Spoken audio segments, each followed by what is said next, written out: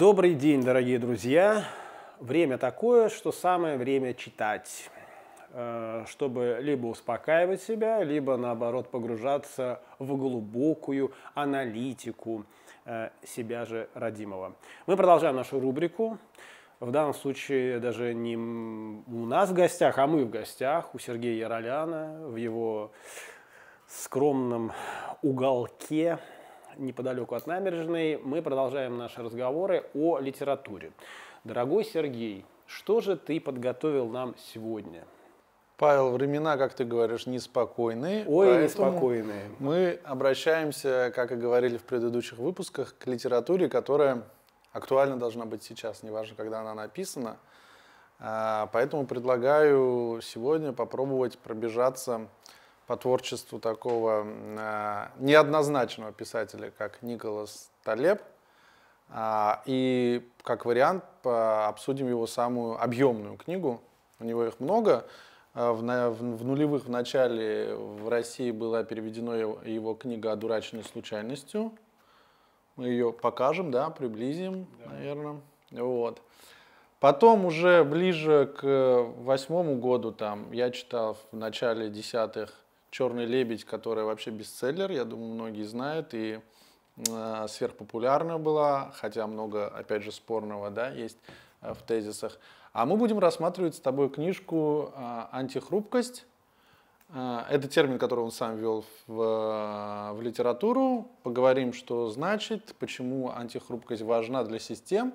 И хочу тебе больше сказать, уже начал аудиокнигу слушать, и вот заказал, видишь, еще не распечатанная. Это очередная его книга «Рискуй собственной шкурой». Вот, так что пусть читатели, точнее те, кто просматривают и любят читать, выбирают сами, с какой из э, книг начать, но мы остановимся на антихрупкости и будем открывать отдельные страницы книги и обсуждать. А, почему, почему Талеб и в чем, мне кажется, его актуальность для сейчас, да, для нас? А, значит, э, во-первых, интересно несколько его историй. Первое – а у него есть тезис такой очень простой, а, который мне близок. Да? Это про то, что а, базовый вид деятельности не всегда является самым эффективным. Если ты в чем-то тужишься, тужишься, то не факт, что это самое ну, эффективное, в чем ты можешь реализоваться. Он приводит пример себя, что он трейдер, но при этом лучше всего у него получается писать как раз, когда он свободен от этого рода деятельности. Да? А, фактически а, такие же истории, связанные мы уже там как-то обозначали, что очень популярная история, когда современная наука накладывается одна на другую, междисциплинарные области дают большой прогресс, да, а вспоминает сразу, э, вот, не знаю, там такие крайние друг с другом не связанные вещи, например, генетика и лингвистика, да, а вот э, э, такой и Иванов есть, э, относительно недавно, несколько лет назад умер, лингвист очень всемирно известный, он в Переделкино, сын Иванова, который с семьей Пастернака дружил, в Переделкино жили. А, у него есть замечательные лекции, еще по телеканалу «Культура» в свое время выходили. А, он приводил пример, что изучает, например, генетические материал э, коров, которые паслись в районе Этрусков, и пытаются лингвистически определить, откуда эти коровы ушли, и находят там похожие, например, в Турции, в Западной Армении, и тем самым определяют, что языки, наверное, тоже в этих регионах обитания в эти периоды могли быть общие. А одни мигрировали, перенесли и скот, и язык, и так далее. То есть вот междисциплинарность, она очень модная. И чем Талеб хороший в антихрупкости, это как раз он берет ряд, например, медицинских терминов и их перекладывает на социологию, на, на экономику и так далее. Я думаю, к этому придем. А второе, что прельщает, и это действительно интересно, ну, как э, человек, работающий в рекламе, в таком популяризации чего-то контентного, ты понимаешь, что э, хорошо запоминаются яркие образы, mm-hmm. фразы, слова. Ну, одно название книг – уже вызывает интерес. Например, «Черный лебедь» э, устаканилась там, «Одураченный случайностью» интересно узнать о чем, да. Но я тебе могу сказать, что у него просто можно оглавия, кни... А, а, эти заглавия, содержание книг э, открывать и смотреть оглавление, то есть, и смотреть, как, как он называет разные главы. Мне кажется, он даже чересчур уходит вот в такое заигрывание с литературой на разных языках в плане того, что миксует разные названия на, на разных языках, при этом получаются оригинальные там термины. Например, в этой книге есть термин хрупкодел, мы его посмотрим, стрессоры, да, а, как я говорил, там приводит медицинские термины, используют где-то еще, мы к ним обратимся. И выходит достаточно интересный набор таких историй, когда ты можешь яркие либо примеры, которые у тебя в систему координат, в твою, которая сложилась да, за счет социокультурных каких-то особенностей использовать. Либо это яркие образы с конкретными названиями, и это наименование ты можешь а, тоже в, в ходе дискуссии или где-то применять. Поэтому вот вторая такая история, которая, думаю, что для массовой популяризации это хорошая история. Когда ты пробуешь э, какую-нибудь сложную периодику, Э, попробовать популяризировать, но при ее чтении язык ломается и нет э, как бы возможности как ДНК связать друг с другом вещи, то сложнее, нежели когда ты очень хлесткие термины э, на разных языках, которые можно обыгрывать, да, и их бравируешь ими там, при, при коммуникации. А третье, чем еще интересен, тем, что человек по факту потомок такой интересный сам по себе дипломатов из с Ближнего Востока. У него много историй о том, как его отец был дипломатом, какая библиотека дома была. То есть достаточно эрудированный с детства, да, начитанный. А дедушка дипломат. И вообще в Османской империи, интересно, христиан, он э, ливанец по происхождению, часто используют для того, чтобы на христианский мир, э, так сказать, миссионерские какие-то роли, да, или дипломатические какие-то задачи решали. То есть через э, христиан популяризировали власть атаманской, мусульманской страны.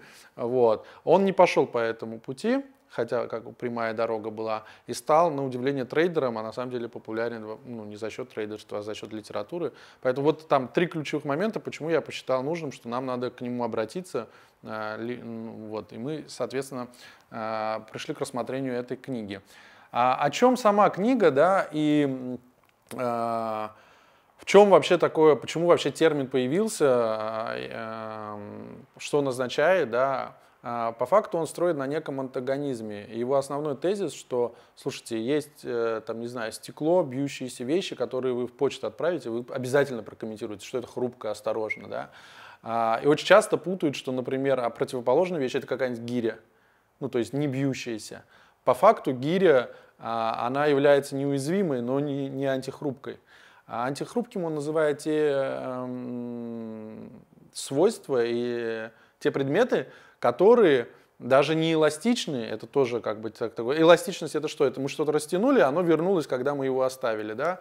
А, а антихрупкое за счет того, что мы какое-то воздействие оказываем, а, эта система, вещи или что угодно, а, она приобретает новые свойства, становится лучше. И, э, для экономики, для общества это очень интересный взгляд, ракурс со стороны просмотра, да. И а, вообще в целом такой вот а, интересный фокус внимания на разные детали у него очень много где представлен. А, я буду, когда заканчивать, скорее обращусь к тем вещам, которые меня у него раздражают, кажутся странными и там, не выдерживающими критики, но а, нельзя не отметить ряд вещей, где его особый оптимизм, наоборот, в помощь. Например, мы сейчас живем в эпоху, там, не знаю, глобальных каких-то эксцессов, да, и так далее. И классическая история, там мы, когда обсуждали с тобой а, там болезнь э, столетней давности, сейчас это депрессия модная, раньше неврастения, да, а вообще вот там посттравматический стресс, стресс, он такой популярный термин, который много используют. Но мало кто говорит, например, о посттравматическом росте. То есть, когда что-то случается негативно, на самом деле есть возможность, это тот же, там, типа, э, китайский иероглиф, помнишь, что и, и ты немного учил китайский, я изучал его, а, когда любой кризис – это возможность, это заезженная уже история после 2008 года, многие а, ссылаются на Китай в этой части, но по факту а, в, ну, в психологии, да, есть такой термин, как посттравматический рост – и это как раз а, настроен на возможность видеть возможности тогда, когда, кажется, предыдущий мир и прежние устои рушатся. Вот. А, обратная история, наоборот, а, когда что-то рушится, мы чаще всего начинаем искать виноватых и так далее. У него очень подробно, интересно рассказано, он вводит термин «хрупкоделы». и говорит, что есть тип людей, которые вообще приводят нас к, разным критическим историям. Да? Давай вот попробую зачитать его дословную цитату про Хрупкоделов. Да? Будет интересно, как, как, как он формулирует сам эту историю. А, Хрупкоделие – это когда выгода мала и видима, а побочные эффекты в потенциале огромные и невидимы. А, то есть, например, в экономической системе многих финансистов обвиняют тем, что ты принимаешь сегодня шаги, получаешь базовый какой-то свой доход, оклад, а спустя время твои рекомендации могут привести к разрушениям. Но это будет понятно только спустя время, да, а, и, соответственно, ну, и польза может быть локально очень небольшая, и тебе за это платят уже, просто знают, что ты, там, не знаю, хороший финансист, экономист. Но то, что ты долго можешь причинять вред, лишь время покажет. В медицине это э, распространенная история, в социологии, да, там, вот, поэтому э, тоже вводит термин, он в принципе понятен, да, стрессоры, то есть раздражители определенные, которые надо научиться использовать на пользу. Мы часто воспринимаем стресс как э, возможность мобилизоваться и как-то его пережить, но не так, как что, что полезного стресс для нас делает и к чему он нас апгрейдит, да, а, вот. А в этой части очень много, то есть классическая история, что стресс для организма, там мышцы качаются, да, интеллект развивается благодаря стрессу. Ну вот я буквально недавно об этом говорил, что в, пред, ну, в одном из своих предыдущих выпусков, что мне правнук Бехтерева, Медведев, он э, говорил, что стресс это крайне важная, нужная, полезная для организма вещь. Просто единственное, что после стресса надо давать себе физическую нагрузку. И тогда вообще будет бинго.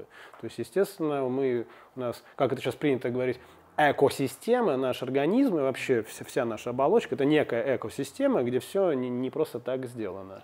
Продавать нагрузку, у него тоже прикольные мысли, что классически мы думаем, например, про, после трансатлантического перелета а ты устал, надо поспать. Он говорит, дайте в этот момент спортом займитесь дополнительно. То есть добавьте себе еще другого вида стресса, да, или другого вида... Э, это правильно, потому что есть же некое условное понятие второе дыхание, да, я через это каждый раз в горах прохожу. Ты вот идешь, идешь, думаешь, все, сейчас все, лягу, сдохну. И потом бабах, ты делаешь еще, грубо говоря, шаг и, и полетел. То есть поэтому здесь я как бы согласен с ним. Да, а, ну по этой части можно поддержать разговор а, аутофагии, да, классический, когда у нас все любят диеты, все любят там типа следить к лету, приготовиться девушкам, да, и так далее. По факту а, Нобелевку японец получил за изучение аутофагии, когда некоторое интервальное голодание позволяет тебе включить доп. ресурсы, и в первую очередь плохие клетки отмирают, да. Mm-hmm. А, вот, в принципе, вот таких медицинских параллелей очень много, ну, закаляться туда же, да, mm-hmm. то есть, ну, как бы не знаем там научно, насколько полезно, не полезно, меди... ну, медицина явно не наш конек, но, э, э, как сказать, быт, э, и тысячелетия проживания на определенных территориях привели к тому, что часть людей закаляется, и вроде как для иммунитета это хороший такой э, трэш, э, да, трэш, шокер, трэш, который... Трэш-терапия. Да, трэш-терапия. А, он приводит пример еще одной истории. А, Гармезис называется медицинская история, когда ты малыми долями чего-то вредного пытаешься глобальное улучшение сделать. Ну, например, традиционно, когда небольшие дозы облучения лечат что-то. Есть, конечно, куча исследований, а, и на них он тоже ссылается, когда наоборот, предположим, там против прыщей используют что-нибудь с облучением связанное, а последствия только спустя 20-30 лет становится понятно, что у людей зоб, например, развивается или еще что-нибудь. Но в целом такой принцип, что какой-то вид деятельности может быть локальный вред во имя более глобальной пользы, да? Мне рассказывали в Советском Союзе, туберкулезом рак лечили. Да, да, да, да, да, да. А, истории любые связаны с, с вакцинами, да, ну вот, чем не хайповая история, да, когда тебе надо перебить, что-то сгрузить в организм, а, там холера, не холера и так далее, ты можешь э, способы корь, не корь, да, вот типа наносишь вред, чтобы э, не было более крупного вреда, да. А, очень при, прикольно говорит по поводу пример хрупкости на, на то, что система должна быть антихрупкой сама по себе. На, на примере человека, ну, по нашему организму биологическому понятно, что очень много, по нашему социуму понятно, что животный мир достаточно антихрупок, и много примеров приводится. Но интересно очень часто, что, а, например, классическая история, а, когда люди настраивают, что они вот пойдут в тренажер качать мышцы Но эти же люди, будучи в костюмчиках и заселяясь в отель, сами не несут свой чемодан, а его несут э, сопровождающие да, представители отеля. И выходит, что это такой, такой некий парадокс, что э, очень часто проблема контекста, что мы сами настраиваемся на контекст. Вот сейчас я точно буду заниматься подготовкой своих мышц. Но в обычной жизни мы вне этого контекста это не делаем. Я знаешь, где это все время наблюдаю? А, когда ты пролетел огромное количество часов на самолете, ну или даже короткое, и потом там, значит, эскалатор, причем вниз, и большинство встает на ступеньки. Вместо того, чтобы пройти пешком, ты только что отсидел 2-3 часа, казалось бы, ты должен пойти пешком. Нет, все встают на эскалатор. Вот это в, в, в эту же тему. Потому что их обслуживают. Да, да, потому что это все, они к этому привыкли. А, а, Туда же, да, истории, когда про некую вот эту гиперкомпенсацию, а, он тоже про нее рассказывает достаточно много, что, предположим, у вас есть там, не знаю, коллектив, и есть более свободные люди и более загруженные. Что надо не жалеть загруженных, и, скорее всего, кто интенсивно и хорошо работает, ему впихнуть можно еще задачу. И Поняла? Вот послушай Серегу. Сильно послушай... эффективным способом решения вопроса. Это не я сказал. Я, я то же самое говорю, я то же самое объясняю, и мне не верят. Вот, э, антихрупкость. Понятно? Э, из технических новаций, отраслей, в которых антихрупкость позволяла системе как бы регулировать, э, приводит пример, например, Титаника, что крушение Титаника позволило вообще кораблестроению не думать в сторону гигантских кораблей. То есть, когда что-то случается техногенное, мы сразу начинаем задумываться. А, но, кстати, иногда обратная история, часть техногенных катастроф нам подсказывает, что мы неправильные решения принимали до. Да, а если ты посмотришь, например, а, там, ну, возьмем Японию сначала, потом Древний Египет. В Японии, когда строили Фукусиму, исходили из того, какой предыдущий опыт. Мы в работе очень часто ссылаемся, такие говорим, экспертиза, опыт, покажите, что вы умеете. И это всегда поляна предыдущих достижений. Поляна предыдущих достижений – это не все, что предельно возможно. Правильно? Ты не можешь сказать, я сделал лучше, чем до этого. Ты всегда отсылаешься к прошлому, а при учете таких опасных историй, например, как типа какую атомную станцию с какой сейсмоустойчивостью строить, возможно, надо предположить избыточность некую. Она не будет лишней. Если ты учтешь при строительстве, что надо построить сильно более безопасную, чем самое сильное землетрясение, которое было до. Потому что вот тот самый черный лебедь еще не, не случался, да, а возможный да, землетрясение. С Фукусимой так и произошло. То же самое было в Египте, когда Нил разливался, или у нас в Петербурге, когда наводнения случались, всегда же все меряют по самому там, типа, большому наводнению. Но если ты строишь дамбу, то твоя задача построить ее сильно больше, чем самое предыдущее наводнение, потому что возможно, что самое большое наводнение еще не случалось. И вот эта некая мысль про избыточность, она у нас в жизни мало представлена. А мало она реализуется, потому что везде идет экономическая эффективность, оценка рисков, а все риски это на предыдущих самых крупных историях построены. И вот здесь интересная вот такая история. А я тебе больше скажу, когда мы говорим про риски, или успешная вещь, например, там смотришь какой-нибудь журнал «Эксперт» или Forbes про какой-нибудь успешный бизнес, или про какие-нибудь гигантские сооружения нам рассказывают, или про какие-нибудь, там, не знаю, подвесные, надвесные мосты, лучшие скоростные поезда и так далее – а, у него это, по-моему, как раз в «Черном лебеде» еще было а, размышление про то, что по факту мы теряем такую важную вещь, как и мысль, как могила неизвестного. То есть мы живем в информации только успешных историй. И мы оперируем успешными, выжившими историями. Куча шлака, чего не удалось, остается похоронена под пылью. Мы этой информацией не оперируем и ошибочно, искаженно делаем все наши там предикативные какие-то истории на базе э, мыслей про успешные успехи. И это искажение, это иллюзия. Э, и она за собой несет вообще краеугольную историю в будущих провалах наших. Ну, это на самом деле база для тех, это, это ну, это, на, не только он, конечно, говорил, это понятно, это база для тех, кто это все готов переломить и все равно делать по-своему. Вообще, строго в научных дефинициях это называется лучше перебздеть, чем недобздеть. Это если про предыдущую Уникальный часть. слог твой, конечно. Да, я исключительно в академической среде сейчас обитаю, поэтому... Ги- Гиперкомпенсация моим текстом это твои речи. Абсолютно.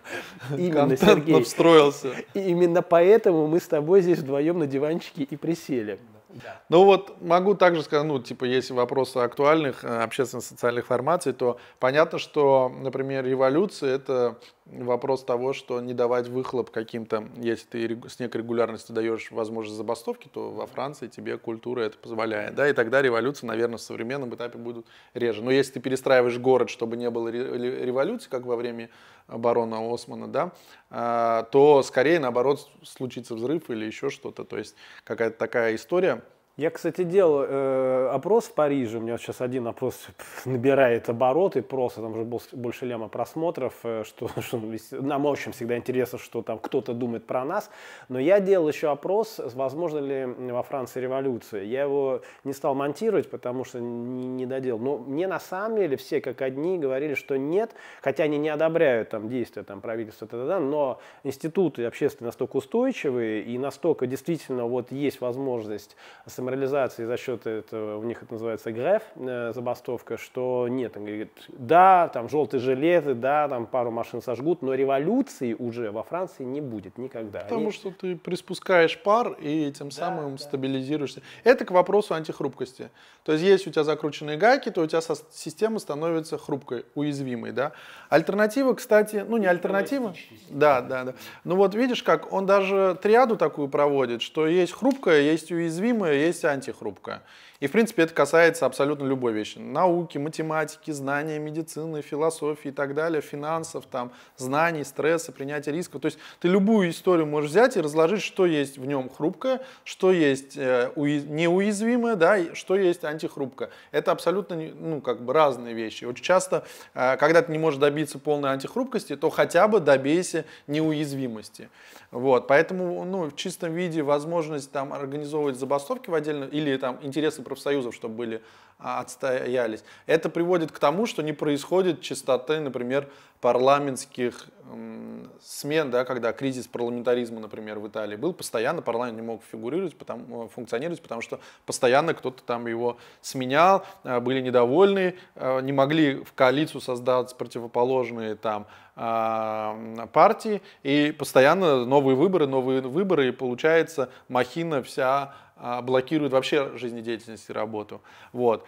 А, Давай, наверное, двинемся. Да, сейчас двинемся. Я еще один хочу пример провести. Мне просто интересно, может быть, вы знаете.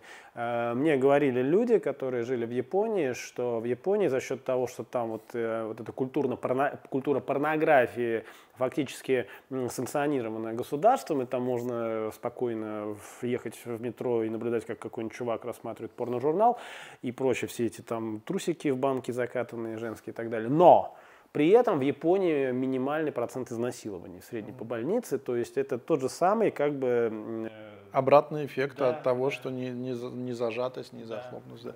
Клево, да, да, да. А, Значит, идем дальше. Вот если в эту же логику да, продолжать, а, вводит термин медицинский или использует для социальных наук. А, Ядрогения, да? А, В чем суть? Это когда, ну, на примере привести, например, мы чересчур заботимся о детях, слишком тепличные условия им создаем, и они не, труд, ну, не способны потом воспринять. А, большая гигиена, там, следим за чистотой рук, это приводит к большим заболеваниям, да, там. А, не знаю, там, в градостроительстве это популярно. Мы с тобой э, задевали тему урбанизма, геополитик и так далее, вот таких там а, географических, скажем, наук. А, Вот оттуда примеров у меня очень много, понятно, что по базовому образованию. Например, когда есть прекрасная книга, э, классика уже урбанизма «Жизнь и смерть больших американских городов», э, Джекобс, автор. А, И очень много анализировалось, почему в, в Америке гетто в центре больших городов образуется, да, потому что гра- градостроительный фактор очень часто не, испо- не, не учитывал, помимо комфорта, квадратуры и так далее, куча социально других значимых аспектов. Например, преступный мир рос из-за того, что переставали выходить окна на те стороны, где, например, бабушки могли наблюдать, где дети раньше играют около магазинчиков, и тем самым получалось, что не нужна лишняя полиция, потому что всегда есть доп-контроль, доп-глаз. И это до появления э, видеорегистраторов, камер уличных и так далее. То есть очень много вещей, которые не анализируются, но фактически влияют на то, что градостроительная политика видоизменяется. Пример лесных пожаров. Да? А, если с ними бороться, то по факту мы приведем к более большому крупному экологическому бедствию, потому что случится один из больших лесных пожаров, который слишком большую площадь займет. Если же, наоборот, в системе присутствуют небольшие локальные пожары, и мы с ними не боремся, а, а некие, некоторые лесничества-то, наоборот, специально создают эти доп. пожары, да, а, то тем самым мы, получается, при, приучаем систему и экологию к тому, что мы избегаем более крупного пожара. А, вот. Из забавных примеров у него тоже, ну, такие я специально набрасываю с разных категорий отраслей, чтобы каждый из там а, просматривающий нашел что-то там интересное, полезное для себя. А, вот пример классический про педантизм. А, ну, если ты там, не типа, добропорядочный муж, который регулярно приходит домой, не знаю, в 8.05, и так ты делаешь 20 лет, то когда ты один раз опоздаешь и придешь в 8.10 или 8.15, то это будет скандал, истерика, там, а, тебе будут звонить, срывать трубки и так далее. Но если ты на некой регулярности создаешь частоту и амплитуду, не специально программируешь там опаздывать, а просто твоя жизнь состоит из колебательных неких таких шумов, назовем, то ты в 7.50 придешь, то ты в 8.30 придешь, то в 8.05, то в 8, э, там, не знаю, 10, то вопроса вообще не будет. Понимаешь, то есть мы... Да, у меня к Светочке Федосовой никогда не возникало вопросов по этому поводу. Она могла опоздать на час, на два. Это еще в, до, в, в, в, в, до, в, до, в, до, в до телефонную эпоху, когда ты не можешь вот так вот сказать, ты где. Да? Поэтому мне это тоже знакомо. Да, это, конечно, добавляет антихрупкости и делает более стабильным какие-то положения. Вот, она была антихрупкой, я понял. Нет, это система ваших взаимоотношений Наша была. система, да, да. Система а какой она была, эта история умалчивает. так. Значит, перейдем дальше. Я хотел еще, наверное, поговорить про некие оригинальные термины, которые он вводит. Ну, ну, кстати, по примеру твоего рода деятельности, у него в других книгах есть прикольная история, mm-hmm. что как тиражировать успех. Например, у тебя есть два вида деятельности, которые сейчас там больше всего времени едят. Это экскурсии mm-hmm. и, например, блогерство. Mm-hmm. В чем их ключевое отличие вообще по Талебу? А, например, блогерство похоже на трейдерство, mm-hmm а экскурсия это штучная вещь, например, похожа на работу дантиста. Угу. Если ты всю жизнь заложишь, помнишь, я недавно спрашивал относительно, сколько у тебя экскурсий было? Такой, ну, примерно уже 500 провел.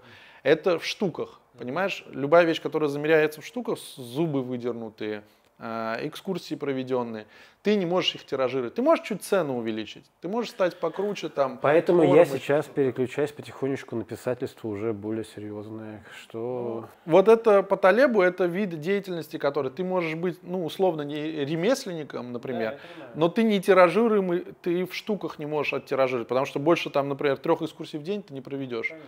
И все. Но количество дней до конца твоей жизни тоже ограничено. Да? Вот. И получается, что это один вид развития профессии, и ряд профессий прям туда укладывается. Другой совершенно тип профессий – это, например, трейдер или Павел Перец, блогер. Когда ты трейдер, то ты управляешь либо своими деньгами, либо чужими, но абсолютно сумма денег, которую ты управляешь за время, оно разное. Ты, ты, ты можешь хоть 10 рублями управлять, хоть 10 тысячами рублей управлять, хоть 10 миллионами управлять. Время управления занимает одинаково, например, инвестировать, не инвестировать. То же самое блогерство. Если у тебя контент, который э, people заходит, и этот people 5 тысяч человек, это один успех, если 5 миллионов, это другой успех. Да? Поэтому но вот, род деятельности, да, но время на контент у тебя уходит одинаково, что для этого количества людей, что для другого. А, поэтому, ну и монетизация строится твоя также. Поэтому это интересная мысль в плане вообще выбора точки приложения своей деятельности, ну, если в какой-то обозримый период ты хочешь, например, за 5 лет чего-то добиться, да, там люди хотят, или еще что-то. Вот неплохо бы обращать внимание на тиражируемый или не тиражируемый вид профессии выбран. Вот.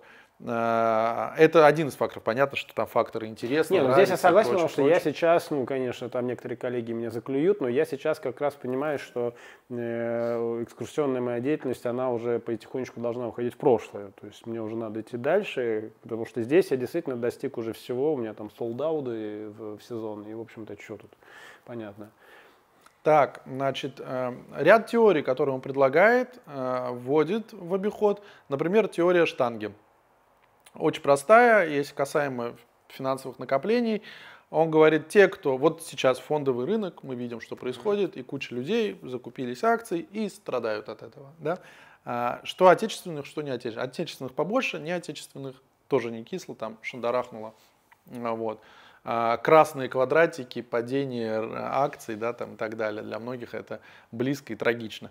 А, но фактически, фактически а, это из-за не антихрупкого поведения, из-за того, что есть простая теория, он ее визуально показывает как штанга, когда у тебя есть два блина на краю, а в центр просто ну, шпала. Да? А, гриф, как он, гриф. гриф, да, получается. А в чем суть, что если ты что-то складываешь в центр, то риски у тебя высоки. Например, ты говоришь, я буду инвестировать с небольшой доходностью, ну, закуплю акций. Угу. А, ты не обезопасен от того, что может случиться черный лебедь, и, например, фондовые рынки перестанут работать, московская биржа перестанет работать, да, а, но при этом ты не создаешь возможности резко заработать Потому что ты очень нерисковые телодвижения делал, закупал акции каких-то компаний, которые более-менее ты уверен, что будут стабильны. А, что говорит Талеб, что это проигрышная позиция. А, куда более выгодно разделить 90 на 10, например, 80 на 20, неважно пропорция, но важно, что 90 держать в том, что железобетонный не изменит, например, кэш. Казалось бы, он там и инфляция и так далее, но все, кто не держал в банке или в акциях, не страдают. У них же они на руках хоть какие-то деньги остались, неважно в какой-то валюте. А 10% рисковые, сверхрисковые, которые не выстрелят, твое качество жизни не изменится. Но если выстрелят, то ты резко разбогатеешь. Ну, в нашей там современный период понятно, что это может быть, например, какая-нибудь крипта, венчурные инвестиции или еще что-то.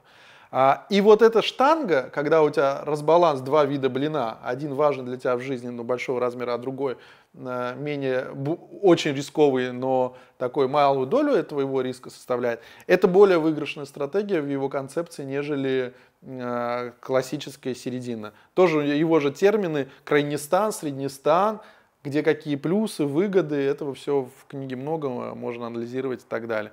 А, и вот по теории штанги очень много ну, про, а, а, про окружение, например, социальные контакты, которые мы выбираем. Очень часто мы стремимся окружить себя похожим окружением в плане социального статуса, ну, доходов, интересы, да. и так далее. Но это плохая инвестиция, потому что это опять усреднение.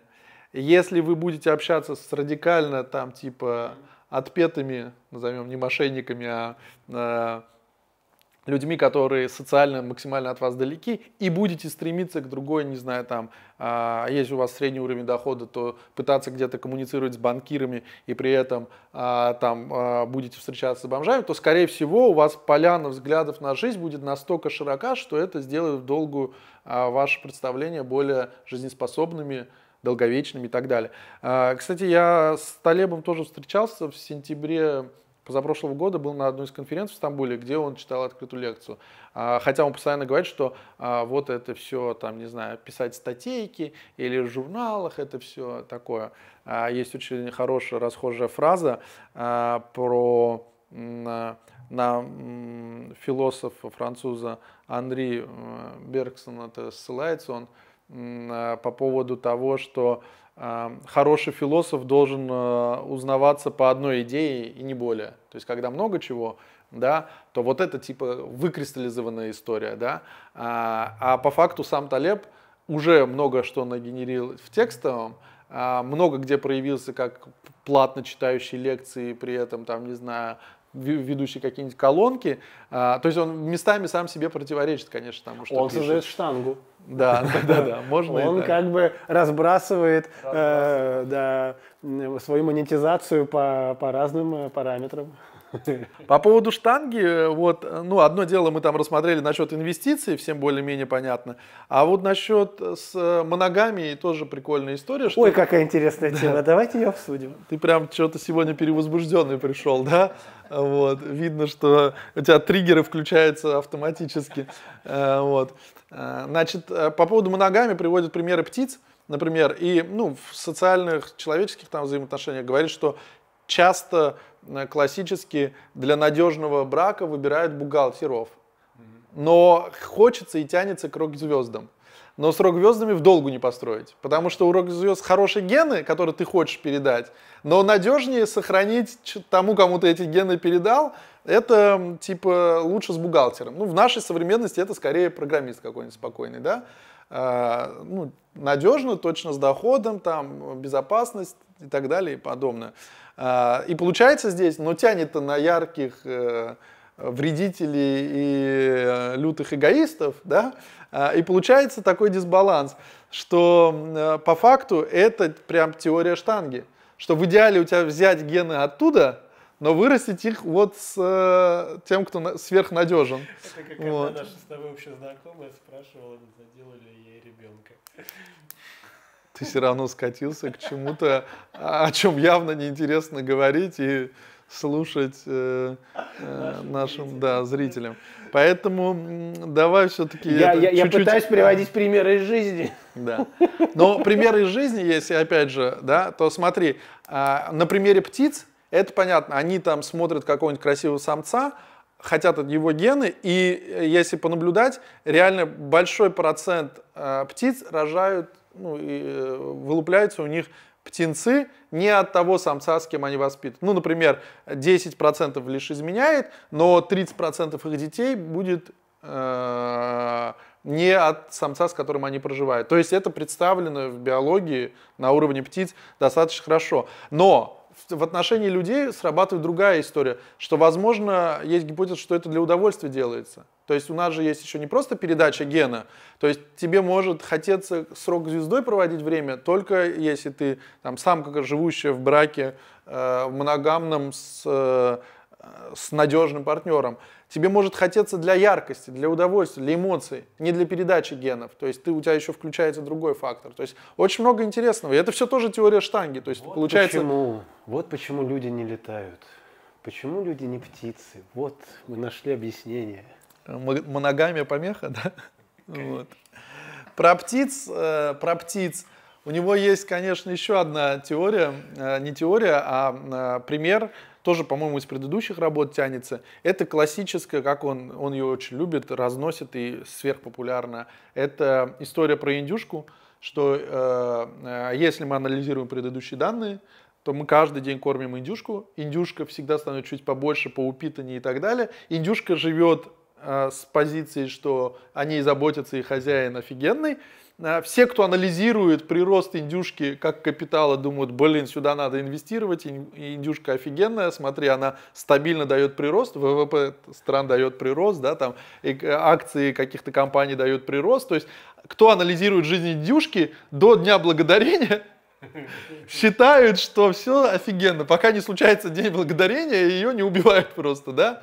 А, если ты напишешь карту развития индюшки на основе предыдущих дней жизни индюшки, то у нее постоянно все будет лучше, лучше и так далее. То есть эти факторы, которые не учесть. Это тот самый черный лебедь, который не запланирован. И мы живем постоянно в, в прилетающих к нам, как, как метеориты, черных лебедях, и поэтому, э, типа, вот индюшка очень характерный э, образ, что не надо всегда мыслить с позиции некого прогнозаторства, возможности управления, э, предикативности и так далее, потому что часть вещей просто нами неосознанно, неощутимы и так далее, да. Вот. А, значит, если уходим от э, вот от теории штанги, похожая теория у него есть, э, она меньше лучше, чем больше, да. А, тоже в книге много примеров, ну, классический нам известен это Паретто 80 на 20. На самом деле есть уже углубление 99 к 1. А, например, э, по интернету, вот интересная статистика, 99% аудитории сидит на одном проценте сайтов трафик, да, так распределяется. Доходы тех, кто пишет книжки так распределяются. То есть 1% имеет 99% доходов и так далее. То есть, и это уже даже искаженный Паретто. Да? А, но при этом как раз это о чем говорит? О том, что нам не надо разбираться со всем множеством. Очень надо правильно понимать эти принципы и стараться в, в управлении или в принятии решений очень часто заниматься вот этим одним процентом или малой долей, которая влияет на глобал. А, например, это касается социальной политики государства. Когда мы думаем о ком-то, заботиться ли какие-то программы да, государственные реализовывать, будь то в Европе, будь то у нас, очень часто берется какая-то группа людей, которые берутся в расчет. Да? если мы будем заниматься только, предположим, а, там типа попыткой устаканить средний класс, то мы как раз не получим эту штангу, когда есть прорывные какие-то, не знаю, оголтелые изобретатели из Силиконовой долины, и наоборот бедный небольшой слой, и тем самым при этом э, ну, стабильная э, ситуация. Когда мы просто заняты усреднением, то мы делаем рисковым более экономику страны и фокус внимания.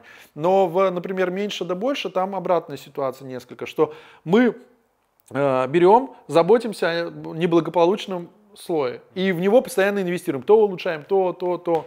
Но в определенный момент мы понимаем, что 80-90% инвестиций вложено в этот слой, и все остальные остаются без фокуса внимания. Это, то есть, такая как бы история э, не совсем интересная. Да? Э, прикольно про примеры, когда он приводит примеры, что если у вас больше, чем одна причина на что-то, не делайте этого. То есть надо делать резкие телодвижения, когда одна причина.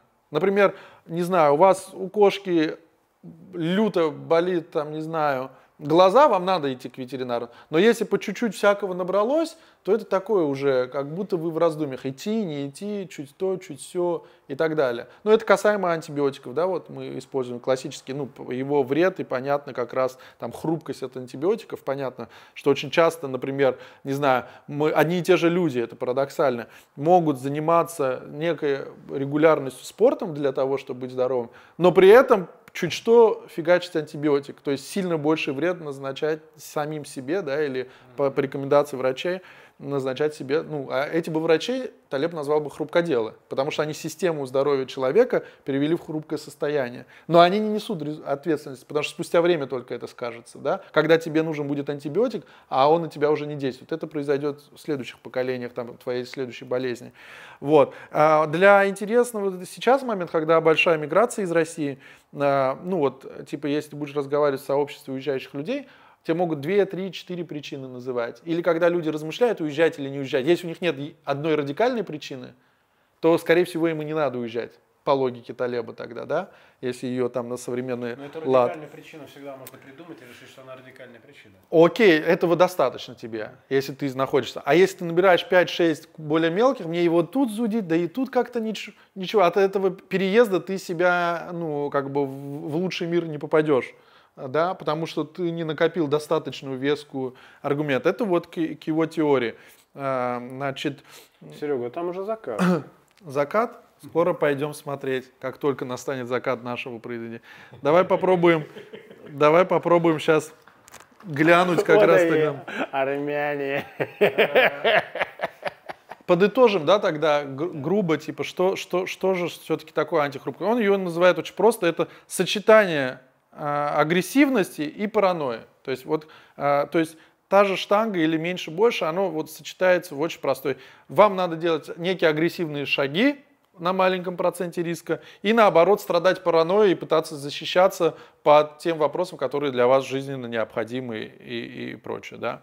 Вот. Еще из такого ну, подробно интересного, это, конечно, по поводу знаний, мыслей, мы с тобой говорили, кому тянуться по общению, да, типа mm-hmm. к богатым, к бедным, одно, одно, монотонному кругу общения или э, разнотонному, он приводит ссылку на арабского мыслителя э, а, Абу э, Талеба, который не является его родственником, но что очень просто, держаться на расстоянии от невежи все равно, что дружить с мудрецом. По факту он говорит, что ну, надо уметь э, исходить не из того, виа негатива это называется, да, когда пробовать что-то негативно убирать. когда ты убираешь что-то негативное, то ты э, обезопасиваешь себя сильно больше, нежели ты стремишься к постоянному прогрессу. То есть очень часто наша результативность зависит не от того, насколько клево мы что-то придумаем, сделаем, а от того, насколько мы обезопасим себя от простых неудач, случаев и так далее. В теории вероятности это очень сильно представлено. Поэтому да? нельзя банить и удалить да. комментарии. Именно поэтому. А, и, и это очень, да, в тему. То же самое у Джобса тоже есть цитата, которую он приводит, а, что Джобс говорил не мы хорошие продукты делаем, не из-за того, что мы умеем фокусироваться на том, чтобы сказать «да». То есть ты очень часто слушаешь, коллеги что-то, какие-то идеи кидают, ты кого-то поддерживаешь. Он говорит наоборот, а, фокусироваться это означает говорить нет. Сотни других хороших идей, которые вас посетили. Вы должны уметь отбирать тщательно. Я сам горжусь тем, что мы не сделали сильно, чем тем, что мы сделали. Инновация – это когда ты говоришь «нет» тысячи другим вещей. Вот, вот, вот такие формы ракурсов и взглядов на моменты, они очень такие э, интересные, кажутся, что могут позволить нам э, самим добиваться в чем-то таких достаточно больших успехов. Давай уж расскажи, что тебя там э, не устроило в этой книжке? Ты говорил, Ой, что есть какие-то... Давай тогда галопом, потому что мы достаточно долго уже ну, болтаем. Тезисно, да, тезисно. да, она, смотри, мне он, он разносит очень э, четко выступает против такого классического развития. Например, он считает, что ремесленничество сильно важнее, чем теоретическая наука. А, а, а, кроме физики он нигде не оставляет наукам право теоретического э, размышления и, э, ну, например, хотя философия непонятно, какой может быть практическая, когда она вся теоретическая, понятно, что она некой предикативностью, опять же, потому что она может смотреть за те границы, которые существуют и практически недостигаемые границы. Например, там, не знаю, те, кто изучает Вселенную, тоже очень часто многие вещи могут предугадать на уровне теории, а потом фактологически проверять. Но он считает, что это шарлатанство, и в это вообще не надо идти, и тут, конечно, большой вопрос. Да? Хотя, опять же, сам себе противоречит. Когда он рассказывает про то, что опытным путем научились ядом убивать, уменьшать прыщи, угу. то только спустя время можно узнать, что это приносит дополнительно другой вред. Но теоретически это можно же предположить, да, то есть это вопрос теоретических изысканий. Поэтому вот в целом глобально к образованию он тоже относится очень интересно. А, в чем-то я здесь свои точки зрения финально не сформулирую. Конечно, есть прямая корреляция между а, правда, ложная она или не ложная, это большой вопрос, между уровнем образования как одним из факторов развитости страны, например, по душевым ВВП на человека. Да? Ну, Понятно, классический что... пример евреи, которые всегда да. с, с, с испокон веков учили читать э, своих детей. Да, интеллект влияет явно так, так или иначе на благополучие. Но он считает, что наоборот сейчас есть тренд, когда учеба просто постфактум, то есть это ложная корреляция, когда образование догоняет благополучные места. Ну, то есть, например, если э, в Дубае, когда я был тоже, в семнадцатом году там приезжали в ВУЗ, где Клинтон читает лекции. То есть, имея деньги, дубайцы приглашают э, Клинтона почитать лекции, чтобы развить молодежь, которая в будущем позволит диверсифицировать экономику Дубая спорно. Возможно, одно за что за что цепляется, какой будет результат, но как минимум не так категорично, как у Талеба, что только ремесленничество приводит. Например, он приводит, Швейцария благополучная страна, но там нет хорошего развитого высшего образования. Но благополучие не только из-за фактора образования, много факторов. Например, он же сам туда отсылается то, что конфедерация и возможность спорных моментов, обсуждения, отсутствие центрального управления в стране, это тоже влияет. Не обязательно образование прямой линии рикошетит и бьет многофакторность существует. И здесь, конечно, вес, там, индексация того или иного фактора не учтена. Очень категоричное мнение. Э, спорно по поводу малых стран. Да, централизация для больших нужна, но э, успех малых стран ну, это скорее может быть, если не исключение, то просто специализация да, этих стран или возможность быть более гибкими каких-то на местах. Да, Генуя, Венеция, будь то или его же Ливан, он сравнивает ее с более большой Сирией, э, да, хотя там типа проживали одни и те же а, по, по типу деятельности люди. Э, вот. А, но при этом мы понимаем, что наоборот, есть теория, когда у тебя нет большой численности населения, ты не можешь быть замкнутый в производствах. Например, Китай может быть там, а Россия уже маленькая 150, а надо 500 миллионов, чтобы все виды циклов внутри замкнуть, да, и так далее. А, ну, в общем, такое, да. Очень много скатывается в критику отдельно взятых людей. Это к вопросу его собственной самооценки, потому что если Но это тебя всегда что-то показатель волнует, комплекса. да, да, да. Это к, к вопросу стабильности самооценки и колебания этой самооценки явно. Штиглица поносит, Бернанки задевает, Гринспина задевает. Приводят примеры там шести нобелевских лауреатов, кто оказался неправ. Казалось бы, зачем? Ну, если там стройность твоих... Опять же, у него есть идея, что все подтвержденное временем, его называют, что он анонирует на древность, да, на Китай, на, на, на а, например, арабский мир или на греческий, гре, греков, да, древних. При этом, опять же, если ты сам заявляешь тезис, что время все покажет, так что ж ты пульсируешь и реагируешь люто на любых критиков и так далее. И вообще в книге много опусов, где он говорит, вот мне пишут комментарии и начинает рассуждать про эти комментарии. Казалось бы, да, ну, дай времени, все уляжется, сам себе в этом не противоречит. Поэтому оставим это на суд, как говорится, зрителям читающим. А, мы скорее просто пропагандируем, что есть интересного, необычного и что может быть полезно, например, да, при современных реалиях. И предлагаю двинуться к заключительной части у нас обычно это цитата о нем и его, а его будет очень короткая. Э, Изобилие мы переносим труднее, чем нужду. Ну, и... это вот то, это как раз, так. это то как раз, что сейчас. Вот, вот я поэтому именно такой короткий, знаешь, из его Это то, что я сегодня рассказывал и объяснял, почему у нас не будет СССР 2.0.